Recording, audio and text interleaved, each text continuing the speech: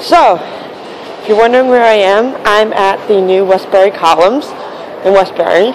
And it's cold, but I don't care because I need to get out. I left my coat in the car, now realizing how much of a really bad problem that is now for myself. But I just want to say, hey, Veda, I guess you could call this the shopping Veda.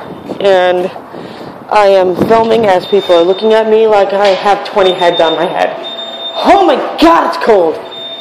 Oh, I'm in Ulta right now and I'm just looking up some stuff. I have so many things to. I, I ended up. I'm a little bit of a bitch because my grandmother gave me uh, forty dollars, and I had like maybe 15 30 dollars left in for myself because I only get paid fifty bucks a week, and I have to be very diligent about what kind of money I spend. So my grandmother gives me forty dollars because I was going to come here and I was going to check everything out because I wanted to.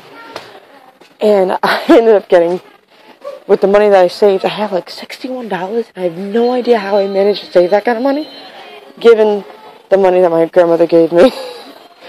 so we're gonna go with this. Um, all right. So I just want to say hi, and I'll let you know how my shopping went. I love you guys to death. I shall see you later.